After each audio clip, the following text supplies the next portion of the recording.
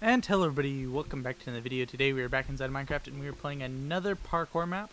This is one by Jera. It's called Escalation, I believe. Basically, how this map works is there's five sections, um, worlds, I guess we could just call them for the sake of ease.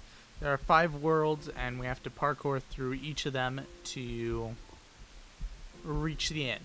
Now, I, I I, I do know the beginning section of this map and actually a little bit through the first three worlds just because I tried to record this a couple times and didn't exactly um, go the best. One problem appeared after another, now I'm having to re-record it. Basically, I'm not going to bother to get into the details, but, you know, problems with actual recording, problem with microphone, problem with getting interrupted, etc. So yeah, just multiple different things all came together and led to me having to restart, which is fine. It is what it is. Now, this is a map that's based around the idea of speedrunning. Now, I'm not going to bother to actually speedrun it, just, you know. I'm just, I'm just gonna do the map and have a good time, you know. Ow just kind of not stress it. Especially since, you know, I just got finished, you know, doing some other slightly more stressful things today. Like, for example, um, today was a game for my CG sports team, which I participate in, and yeah, we did we did end up winning. Woo! Very exciting. Um, like it, it, was a bit stressful for me from the standpoint of I wasn't originally supposed to play this game, but when the guys showed up late to uh, mandatory pregame practice, and I was there, so they went, "All right, you're in," which you know is what it is. I feel a little bad that that's you know the reason I got to start, but I I do appreciate that that's the way it's it's set up because it does require you to actually slightly care if you're going to be on the team. And he, he had circumstances outside of his control, which led to not being able to make it. So it's like, you know. In, in this case, you know, I feel bad for him. But, like, for the most part, it's a good rule from the standpoint of, like, you know, if you don't want to show up to practice, somebody else gets to take your spot. so, yeah. So yeah, as a result, due to that, I got the chance to play, which I did an, I did an all right job. I didn't do like fantastic or anything, but I did do all right. Oh, another point on this map. There is in each world um there is a secret teleporter which will let you skip some levels in the map. Which, you know, is a thing. I found the one in stage three, but I'm not sure where the one is in, say, stage two, for example. I have no clue where the one here is at. And frankly, I don't even remember where the one in stage three is at. If I'm being honest. It kind of took me off guard when I found it. I just remember I had to fall down a section to get there. Like, I bet you the one in this map is probably like, you know, like back in that section or just, you know, a deal like that. I don't think that's exactly where it's at, but I bet you it's that sort of positioning. Ah, oh, man, that's a tough spot to fall. The interesting thing about this map is the map creator specifically like made it as a speedrun map, but as far as I can tell, there's no like actual leaderboards or anything for it, which makes it essentially not able to be that good of a speedrun map. Just from the standpoint of it's hard to compare your scores against other people, but you know, the thoughts there for sure. So like it, it's designed with that in mind, trying to make it so that you know if you take certain paths, you can cut time and go a bit faster. All that.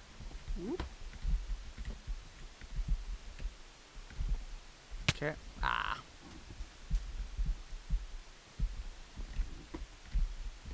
Okay, bam. bam. Don't hit your head. And away we go. Okay.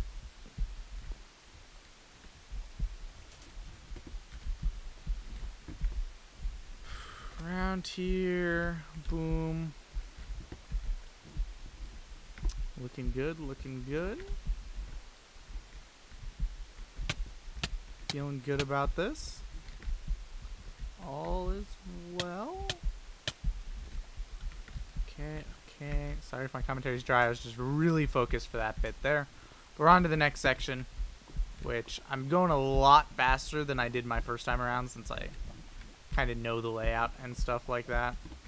Oh, whoops, don't know what I was doing there. And I believe... I don't know what I was doing there either. I'm just kind of jumping around without any thought in mind. Okay. Let's make that jump. Yeah. Now, the map creator did say that the map would take, I believe it's like 15 to 25 minutes if you play it casually. Now, as far as I can tell, it seems like that's a bit of a underestimation. Es- yeah, underestimation for your first run on the map. Like, just assume it's probably to take you a bit longer than that. I'm guessing what he did is he kind of went through the map without um, trying to speed run it and took the time he got and kind of judged from there. If I had to guess.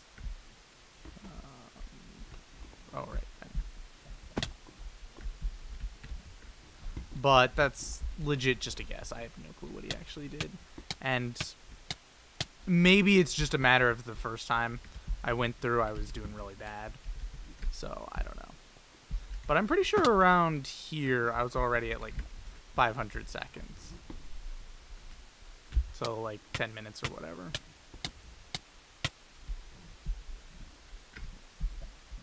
I don't know. As I said, might just be me being bad at parkour. Whee. Okay, I hate hitting my head on these sort of jumps.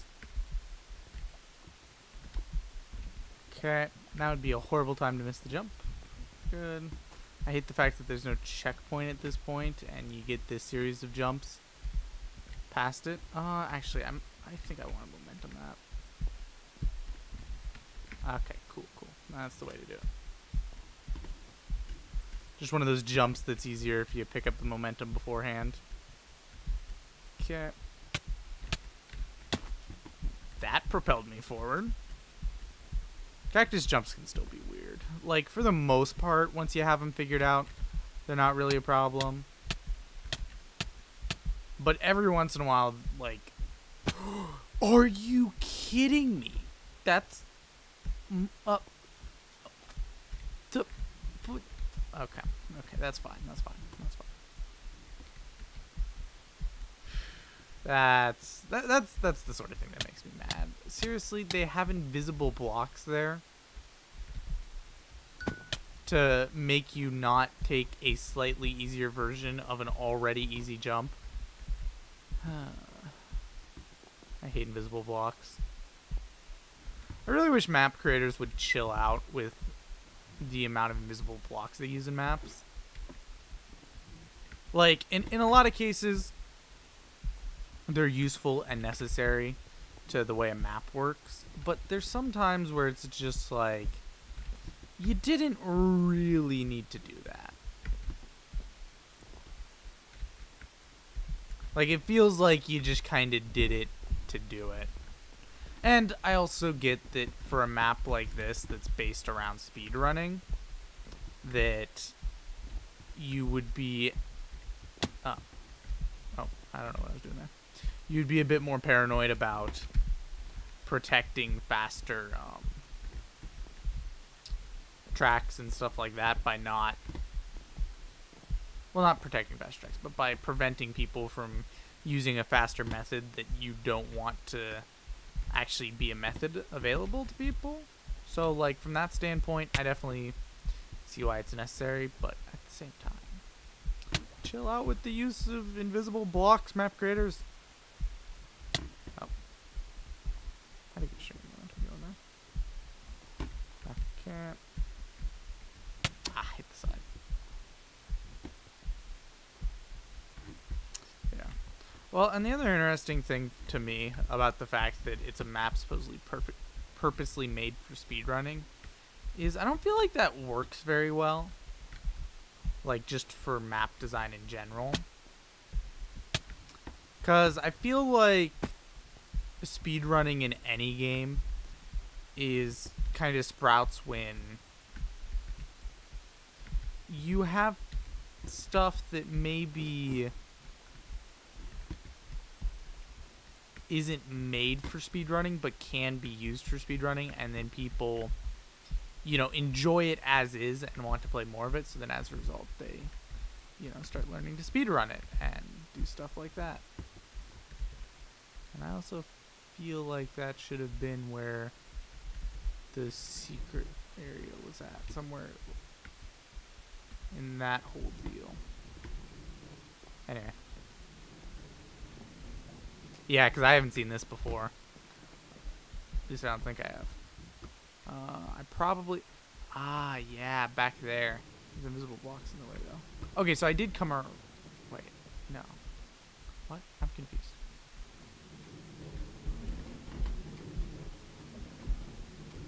Yeah, I think... I think I know what I did. I think I came around up here, up here, over and then through to here, come up, and no, that's just the way to go forward. Never mind. I have no clue where that shortcut was at, but it was somewhere in this area. I feel like this would be the sort of map that if I really did want to speedrun it, I'd have to go in specifically to find the stuff. Oh, you want me to... Are you kidding me? The checkpoint was... Oh, that's infuriating. But yeah, I, I'd have to go in specifically to find the shortcuts or make a creative version of the map to go through and scout it out ahead of time and just find them real quick and or look up a video or whatnot ba basically through some method find out ahead of time where all the shortcuts are at and learn it first instead of just being able to come at it with the speedrun, which I guess is pretty normal, but still, like, it, it is weird to me that the map creator, like, the way he phrased the description sounded like he didn't want you to really play through the map casually like like the way it was phrased was kind of like you know you can play through casually but it's meant to be speed and stuff like that and it's like your first playthrough of a parkour map are you is almost always going to be a casual playthrough. As with pretty much any game you're not going to load up minecraft for the first time having never played the game before or seen anything about it, and your first thing you're going to go do is go try and speed run beating the dragon. It's just, you know, just not how those things work. You gotta play through a map casually first. So, like, just just the phrasing for that stuff weirds me out.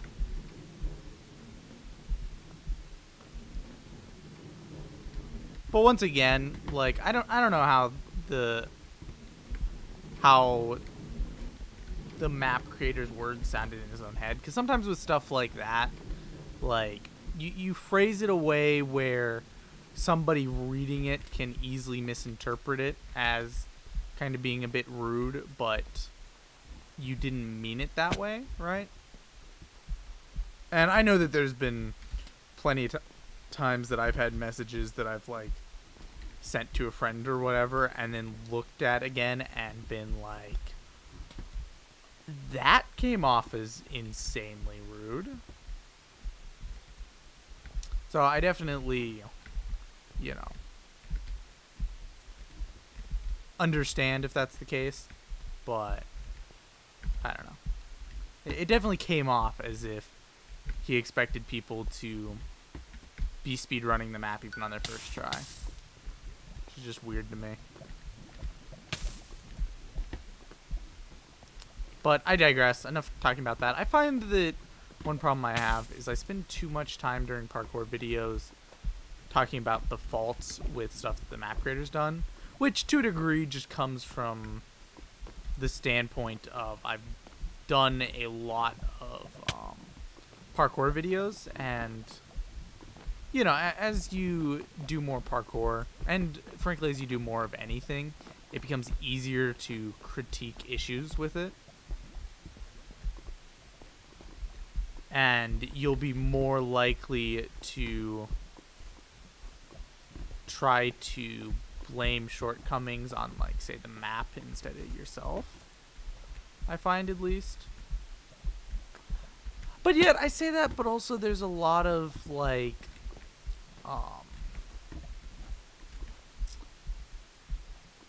like people that claim that a map's impossible when it's really not because they don't know enough about the game and they blame not being able to make the jumps on the map. So I mean, I guess you know, it goes both ways. There's some things that you're less likely to complain about with this sort of stuff, but there's some things that you're just more likely to. Really just depends. Um, I want to jump over to that one, don't I? No, that was definitely not where I wanted to jump to. I hate these sort of vine parkour stuff. Mostly because I don't have a good feel for it. So I don't, you know, know what I'm doing 100% of the time with this sort of stuff. Rebalance, go again. Okay, so if I jump to this one, can I make it to that one? Yes, just barely. Then I can fall over. Um, I take it I don't want to fall down there. Sorry, just hit my microphone with my keyboard. Can you do that? Um, where would it even be to go up this way? I don't know. What? We're like stuck over the edge. And there's these spawners, but the game mode's in peaceful, and I believe the rule set to leave it in peaceful.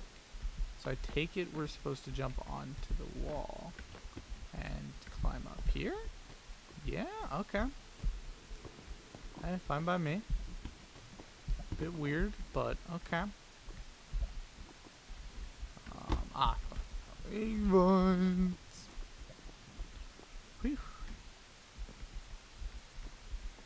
What do you want to bet that the secret teleporter is on top of one of these trees? Like over here or something. Yeah, okay, that that just looked right. Uh, hot tourist destinations, let's go.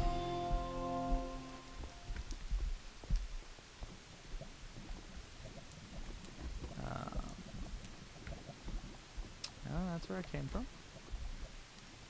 It's not over that way, because that just circles around to here? Yeah. Oh, it's up here. Okay. I feel like this map's a good mix of, like, uh, kind of confusing on where to go, but not, like, infuriatingly so. Like, there's some maps that it's just like, did the map creator even try to designate a path? But this map's done a really good job so far of like um, making it possible to tell where you're supposed to go, but at the same time making it where you're going to get it wrong sometimes.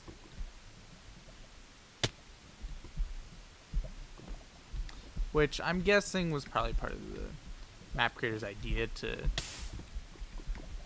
try and make it like speed runnable or whatever. I have no clue where I'm going.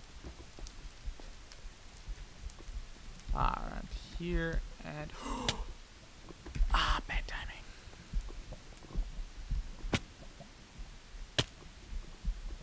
Okay, let's try this again. These stair jumps are obnoxious, and because I don't fall immediately when I miss it, it makes it even more so. Okay.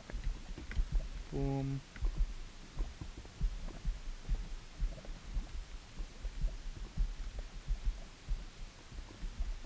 Cat. Down and around. Hey, what? Stinking two-tiered weird system.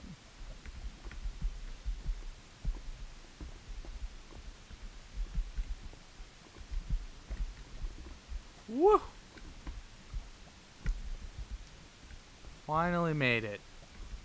Okay, this is probably the last section of the area. Whoops.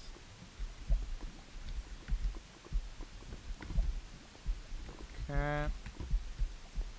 Down, up, around. Ah, missed the jump.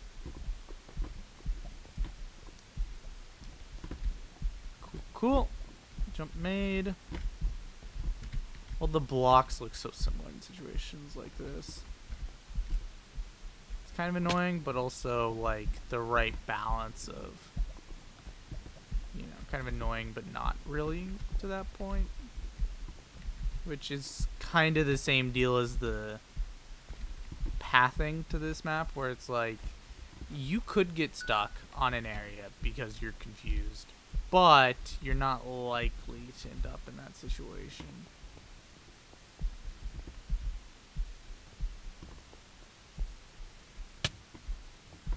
Like, yeah, one, one of those situations where it's more difficult to tell, but it's also a situation where it feels like if you were better at the game, you would be able to tell.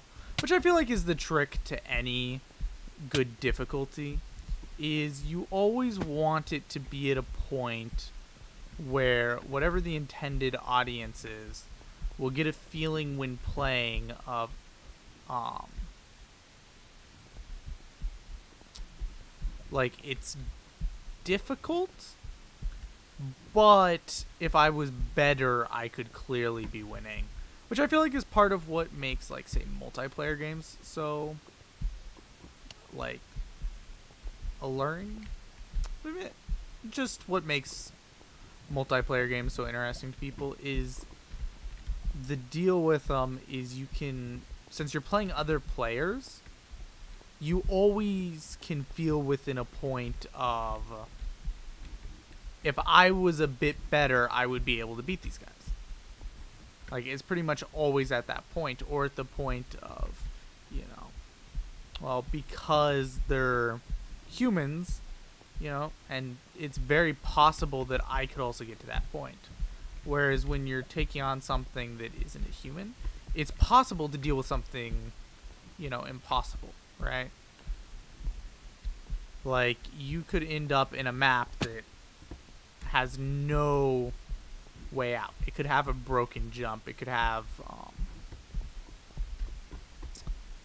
NPCs that are so powerful that it's impossible to actually beat them. Where am I going? What am I doing? Okay, cool. Like this. That's the path I want to. Yeah, yeah. So like, yeah, I think that's part of. I think I've kind of landed on part of the idea of why, you know, people really enjoy multiplayer games. And maybe I'm a bit off base on it. It's definitely possible. Wouldn't be the first time. uh, but um, yeah, it, de- it definitely seems like a possibility that I'm right about that. Something, you know, make me think more about. Boom. Not bad. Just jump around like that. Stop messing with the jump that I keep failing. I still have PTSD when I see end rods. I always think I'm gonna have to crouch in to land. Those are gonna be useful later. Yep. Hmm. In this end section, it like the one complaint I have is they didn't do a good job in making it feel like separate sections as you go up. So like it, it kind of feels like I'm just repeating the bottom portions again, which is kind of annoying. Um. Are you serious? What a what a waste of time. I hate that when I jump in the wrong spot. I have to go all the way around here again. Okay, now I have to go up there to go around there again. I was probably close to a checkpoint too, based off of the amount up that was. Which is fine.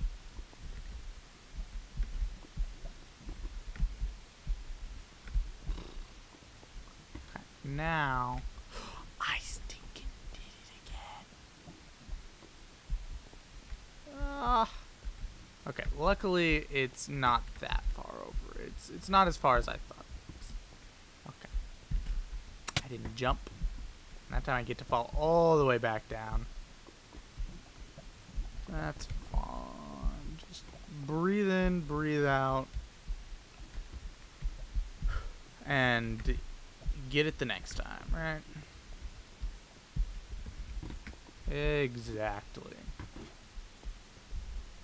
Spend too much time stressing on past failures, you will struggle to get success. Or something like that, just phrased in a way that sounds a bit more philosophical.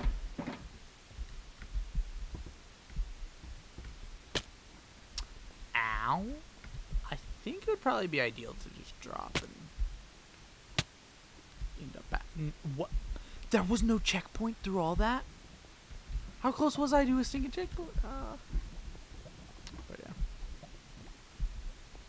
I don't know. I find kind of the, the more philosophical speech kind of fun. Like, I watch, what's his name? Ambiguous Amphibian sometimes just because he- the, the, the, the way he does it is just kind of funny. Something about it.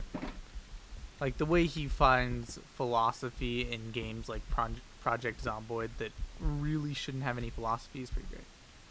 Congratulations, 1392. Not a great time, but I definitely could have slimmed it down even without any um, teleporters. I made a lot of dumb mistakes that were easily avoidable.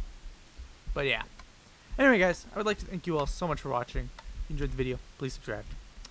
Um, like this, this, this is the point where you pull up the graph, but I'm too lazy to actually edit that in. So um, only 20% of you are subscribed. Please subscribe. Okay, that was really cringy. I'm never doing that again.